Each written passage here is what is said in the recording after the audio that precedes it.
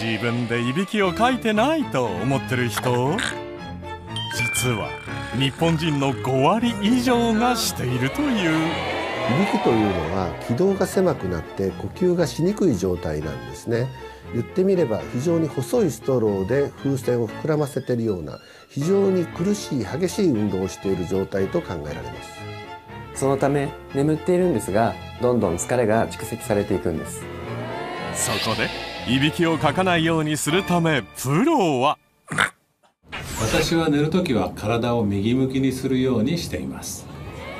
仰向けだと重さが全部気道にかかっちゃうので気道が狭くなる。つまりいびきが出やすいんですね。ですから横向きの方がいびきをかきにくいということですね。